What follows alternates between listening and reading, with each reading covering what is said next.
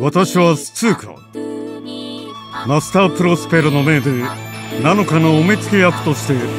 こんな寂れた会場と仕組んだりまでやってきたが。まあそれはいい。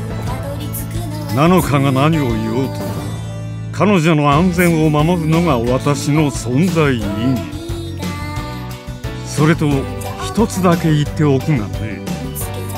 私のビルドモデルは狼決して